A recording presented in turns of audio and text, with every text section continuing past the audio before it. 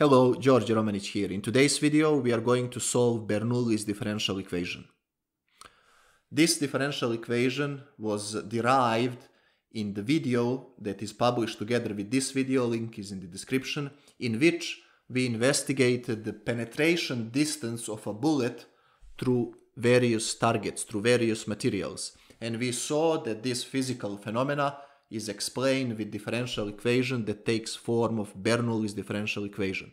In that video, we provided physical reasoning of this particular problem and we derived the equation. When we derived the equation, I told you that in another video I will solve that equation, which is this video, and then in that physics video I provided just the solution. At the end of this video you will see solution that appears in that second video and of course this video is purely mathematical, the only physics is the boundary conditions that we will use to find the integration constant in our differential equation. So, let's start.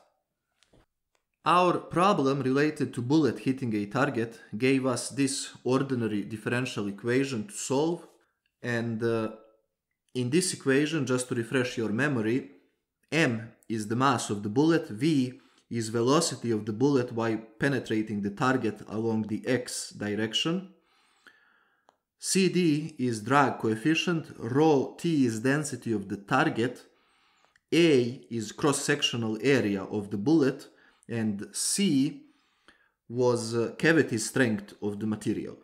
I uh, introduced these substitutions instead of this term and instead of this term just for convenience and not to write uh, these long terms because they are constants. So with these substitutions, this equation after dividing by uh, m and v becomes dv dx plus k over m v is equal negative h over m v to power minus 1. And uh, this is called the standard form of Bernoulli's equation. As I said in the introduction, this is Bernoulli's differential equation, nonlinear equation in V. And this is the standard form in which we want to write Bernoulli's equation. We want to write it in this form at the beginning because we want to identify the power exponent on the right hand side next to dependent variable, in this case v. And from here we see that the power exponent, we call it n, is equal negative 1. Now, when I identify this power exponent, I will introduce a substitution that small v is equal to v to power 1 minus n. And that is equal v to power 1 minus, well, n is negative 1, so minus 1. And that is equal v squared. Now I will differentiate this with respect to x to get dv dx is equal to v dv dx. And I will use this substitution in this equation over here. Before I do that, however, I will now again rewrite this equation to be similar to the original form. Namely, I will write, I will multiply with uh, v this equation to get v dv dx plus k over m v squared equals negative h over m. Notice that v dv dx is one half small dv dx. So one half d small v dx plus k over m v squared, noticed v squared is v small, is equal negative h over m. Now I multiply this equation by 2 to remove this factor from dv dx and I get. And look, this is now linear ordinary differential equation in small v. And we know how to solve linear differential equations. So just to recap what we did here.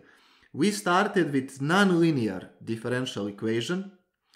We identify power exponent after we wrote equation in the standard form, used a nice suitable substitution into this equation to get linear ordinary differential equation. So the goal was to move from nonlinear to linear differential equation. There are several ways to solve these linear differential equations and I will use the integrating factor approach. And I will lay out for you five steps that you can follow to solve these types of equations. So, step number one. Calculate integrating factor i of x. Now, integrating factor is equal to e to integral whatever is next to v, and that is 2k over m dx.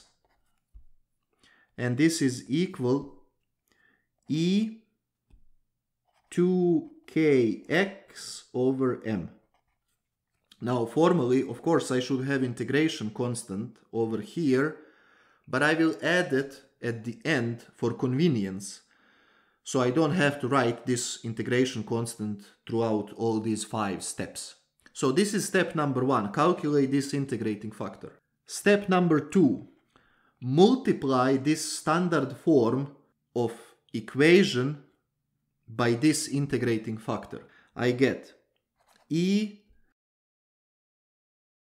step 3 recognize that the left hand side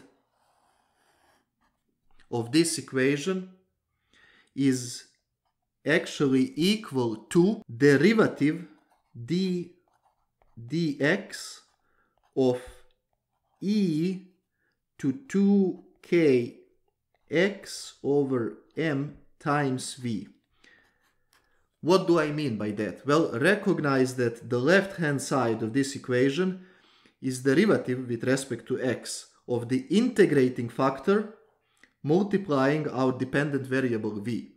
And you can convince yourself easily because if you carry out this differentiation, this is differentiation of a product, we first keep this as constant and then we differentiate v. And that's exactly what we have here.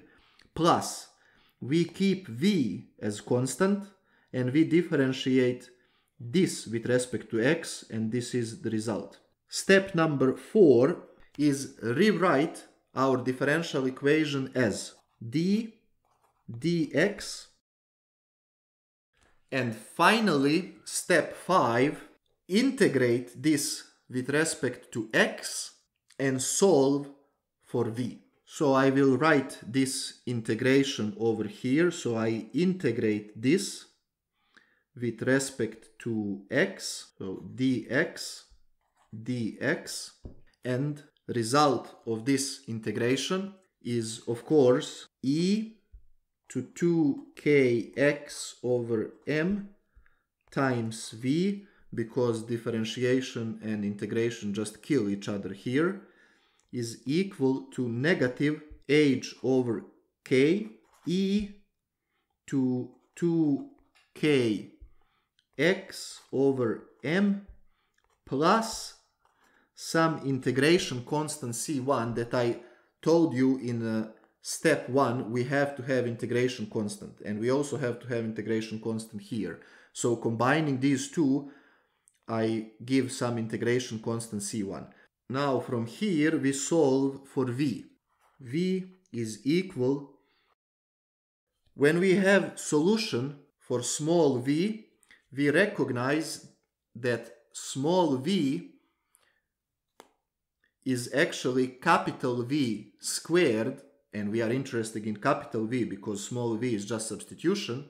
Therefore, capital V or as a function of x is equal plus minus square root of c1 e to negative 2kx over m minus h over k. So I skipped one step here. Of course, just to clarify, instead of v, we would write capital V squared equal to this. And then to get solution in v, we have to take a square root, but uh, there are two solutions, plus and minus, and uh, you get this expression over here.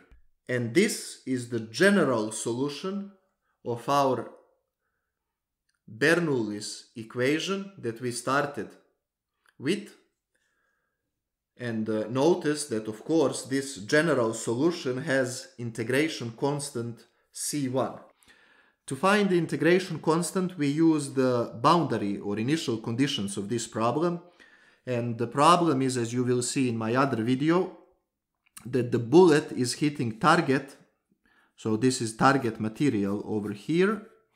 The bullet is hitting target and uh, when the bullet touches the target which is at x equals 0 velocity is v naught initial velocity of the bullet. So we will use this fact in our general solution to write v naught is equal plus minus square root c1 minus h over k because e to power 0 is 1 and x equals 0 so is substituted here.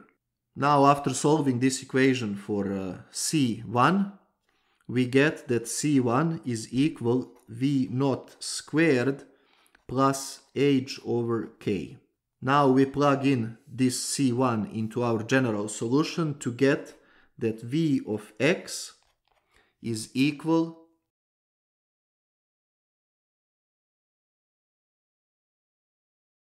You will also remember that our from previous page that h is equal uh, CA and uh, K is equal 1 over 2 CD rho T A. So if I substitute these here, I get that V as a function of x is equal plus minus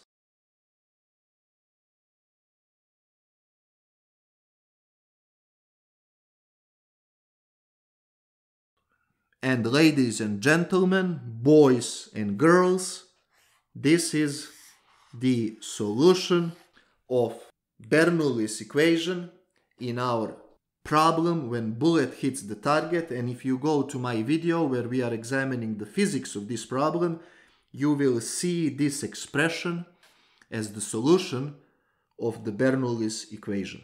Now after you watch this video you have the power of solving Bernoulli's differential equation one of the few nonlinear differential equations that you can solve. You can go down the street and just scream, shout and yell, I can solve nonlinear differential equation. Once you do it, go and watch my second video where we are using this equation to investigate the penetration distance of a bullet through various targets, namely various materials. See you in that video.